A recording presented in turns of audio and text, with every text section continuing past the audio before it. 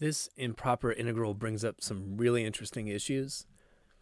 Uh, first off, it's improper because I have a vertical asymptote on the interval of integration. So this function is spiking to negative infinity and positive infinity when I cross over x equals 1, which is my problematic point. Now, at first glance, um, I saw this function and I was thinking, well, that's like something that dives to negative infinity on one side and infinity on the other. And then I realized, well, the interval that I'm integrating over is symmetric to the left and right of that asymptote.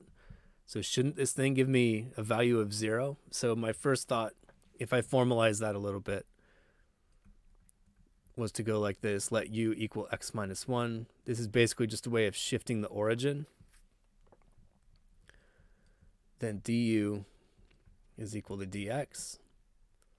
When x equals 0, u equals negative 1. When x equals 2, u equals 1. And you can rewrite the integral like this, the integral from negative 1 to 1 of 1 over u cubed du. And I said, aha, that's an odd function integrated on an interval symmetric about the origin, so it must turn out to be 0.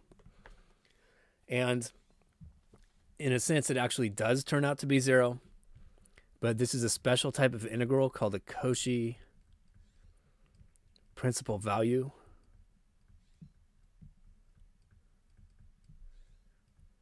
which is something we wouldn't ordinarily discuss in introductory calculus. And it's a way of putting a value on an improper integral like this, where it's sort of each half of it is divergent, but when you put them together, you get a finite number. So this is kind of the real right answer, but the way that I showed the reasoning is not exactly correct because the fundamental theorem of calculus shouldn't work with infinities. So I'll just leave this hanging and say if you want to learn more about how you formally analyze this integral, you have to phrase it as a limit using this Cauchy principal value idea. So let's look at our more traditional approach in introductory calculus. The idea is that x equals 1 is my problematic point, and I need to break my integration interval at that point. So I'm going to break it at 1.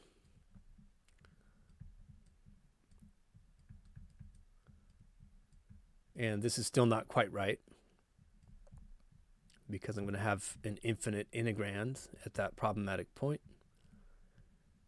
And so what you do is you work around it by rephrasing as a limit. So I'm going to call this the limit as t goes to 1 from the left. Integral from 0 to t dx over x minus 1 cubed plus the limit as t goes to 1 from the right. Integral from t to 2 dx over x minus 1 cubed. And then I just guess the antiderivative, so I have limit as t goes to 1 from the left antiderivative of this thing, that's just x minus 1 to the negative 3. So I get x minus 1 to the negative 2 divided by negative 2.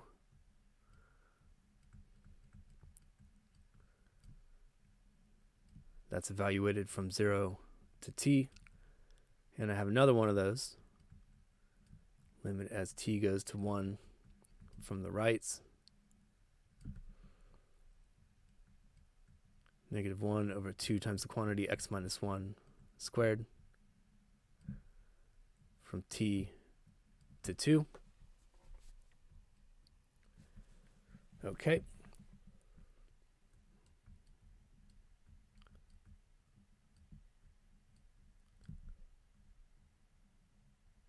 Then I evaluate across the limits of integration.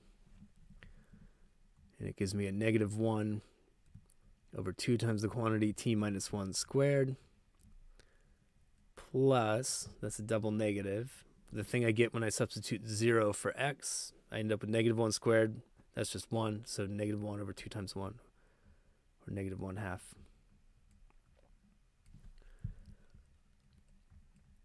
Plus the limit as t goes to 1 from the right. uh, plug in the upper limit of 2. When I plug in x equals 2, 2 minus 1 squared is just 1. So I end up with a, a negative 1 half out of this.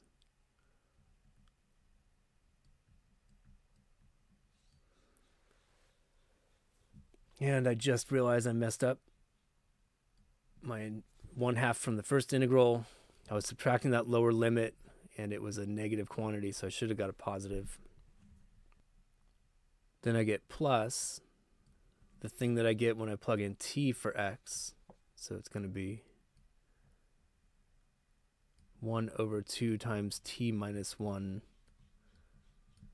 squared. And so I end up with um, the one halves can come out of the limits because they're just constants. And I end up with a positive one half and a negative one half. So those are gone.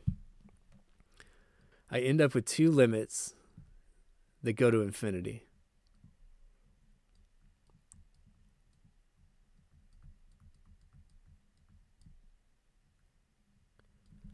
All right, so as t approaches 1 from the left, the denominator is always going to be positive because that term is squared, and I end up with basically division by 0, which is going to give me infinity, but it's negative. Second limit.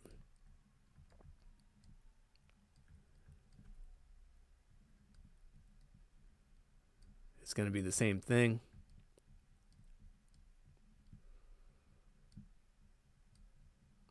but without the minus sign, so it's positive. And so at this point, what we're trained to do in introductory calc is to just say if either one of these limits diverges to plus or minus infinity, then we have to say the integral is divergent. But it's a little deeper than that in this problem. The negative infinity plus infinity is ambiguous. I don't know if that adds up to something infinite or finite. And if it's finite, I don't know what number it is. So the way to get clarity on it is to reformulate the way that we're taking this limit using the idea of a Cauchy principal value, which is beyond the scope of introductory calculus. And it does turn out the real answer is zero, just like our geometric intuition told us. But the, the official answer for Calc 2 is to say it diverges. In other words, we don't have the tools to deal with negative infinity plus infinity yet.